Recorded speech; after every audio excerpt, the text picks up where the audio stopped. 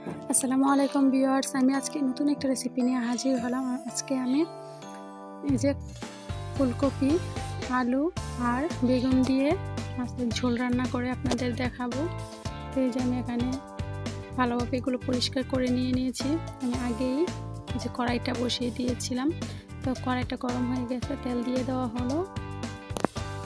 এখন পেঁয়াজ কুচি আর রসুন কুচি আমি ভালোভাবে ভেজে নেব।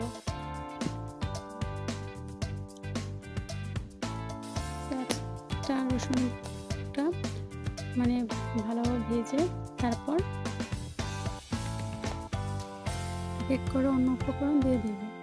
অনবরত নাড়াচাড়া করুন নাড়াতে কিন্তু পেঁয়াজটা পড়ে যাবে। যে দেখুন আমার পেঁয়াজটা কিন্তু ভাজা হয়ে গেছে। প্রায় একটু আমি সবজিগুলো দিয়ে দিচ্ছি। সবজিগুলো আমি পেঁয়াজের সাথে একটু ভেজে নেব। দিয়ে দিলাম পরিমাণ মতো লবণ, এবার আমি একটু সবগুলো উপকরণ একটু ভেজে নিচ্ছি, নেড়ে চেড়ে। দুই মিনিটের মতন ভেজে নিলে হবে। এর মধ্যে এখন আমি দিয়ে দিলাম মরিচ গুঁড়ো, একটা চামচ। ধনিয়া গুঁড়ো, একটা চামচ।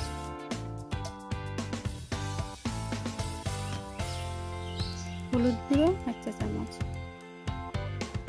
এখন আমি আরেকবার মানে আবারও ভালোভাবে নেড়ে চেড়ে নেব। দেখতে পাচ্ছি আমি, নেড়ে চেড়ে ভালোভাবে নিয়েছি। এখন আমি পাঁচ মিনিটের জন্য এটা মানে ঢাকনা দিয়ে ঢেকে সিদ্ধ করে নেব আর কি পানি দিয়ে। অল্প পরিমাণ পানি দিয়ে নিলাম, হয়তো পড়ে যাবে। ঢাকনা দিয়ে ঢেকে রাখলে অল্প পানি দিয়ে আমি একটু কষিয়ে নেব। এর মধ্যে মানে পাঁচ মিনিট মধ্যে এর মধ্যে আমি মাছটা ভেজে নেব। দিয়ে দিলাম হলুদ গুঁড়ো আর পরিমাণ মতো লবণ। এটা ভালোভাবে মেখে নেব। আগেই মাছ ভাজার কড়াইটা মানে বসিয়ে দিয়েছিলাম চুলাতে, তো এর মধ্যে আমি দিয়ে দিচ্ছি মাছের তেল। আপনারা তেলে দিতে পারেন, আমি পাঙ্গাস মাছ দিয়ে রান্না করব, তো পাঙ্গাস মাছের তেলটা দিয়ে আমি মানে তেলটা দিয়ে দিলাম যে দেখুন কত তেল হয়েছে। তো এখন আমি মাছগুলো দিয়ে ভালোভাবে ভেজে নিচ্ছি, উল্টিয়ে পাল্টিয়ে ভালোভাবে ভেজে তারপর আমি নামিয়ে নেব।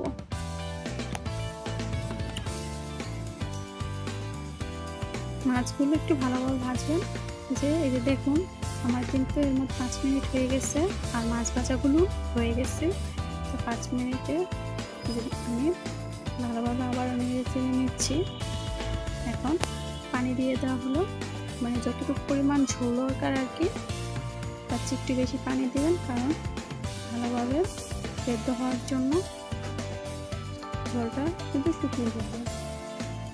আর ঢাকনা দিয়ে ঢেকে রেখেছিলাম দশ মিনিটের জন্য, দশ মিনিট পর ফিরে আসলাম। তো এখন যে দেখুন আমার তরকারিটা, আমার আলুটা কিন্তু প্রায় হয়ে গেছে, আমি দেখাচ্ছি।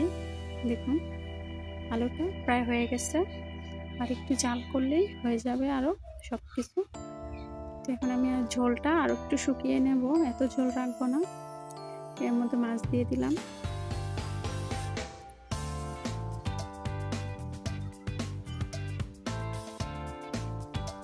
করে সবগুলো মাছ দিয়ে দিলাম। একটু নেড়ে চেড়ে নেব এখন দিয়ে দেব কাঁচামরিচ। মাঝখান দিয়ে একটু কেটে নিয়েছি। দিয়ে দিলাম ধনে পাতা। ধনে পাতাটা না থাকলে না দিলেও চলবে। আর ধনে পাতাটা দিলে গন্ধটাও ভালো আসবে, খেতেও ভালো লাগবে। কম বেশি সবাই কিন্তু ফুলকপি রান্নাটা খুব পছন্দ করেন খেতে। তো আমার চ্যানেলে যদি আপনারা নতুন হয়ে থাকেন, তাহলে প্লিজ সাবস্ক্রাইব করবেন আর পাশে থাকা বেল আইকনটি মানে বেল বাটনটি অন করে দেবেন, যাতে আমার ভিডিও নোটিফিকেশনটি আপনার কাছে পৌঁছে যায়। আমার রান্না কিন্তু শেষ, আমি এখন নামিয়ে নিয়েছি দেখুন, আপনাদের দেখাচ্ছি। আমার ভিডিও পর্যন্ত দেখার জন্য আপনাদের সবাইকে অসংখ্য ধন্যবাদ।